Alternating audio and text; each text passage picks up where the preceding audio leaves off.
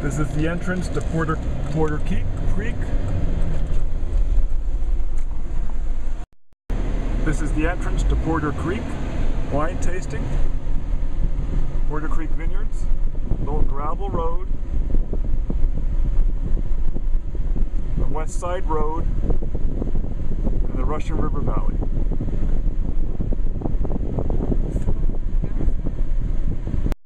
Drive, the tasting room is behind the house. This is actually a very pretty part of the valley right here. It's right across from the MacMurray Ranch, which is from Fred MacMurray, which is currently owned by Gallo. Nice little peach tree.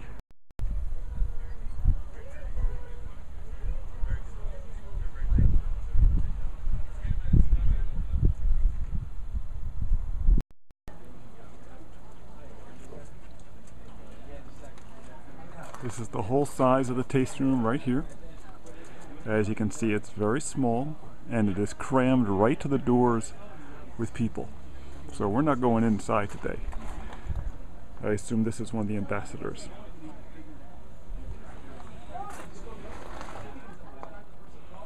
Very much a small family run winery. Very relaxed, very authentic. Porter Creek.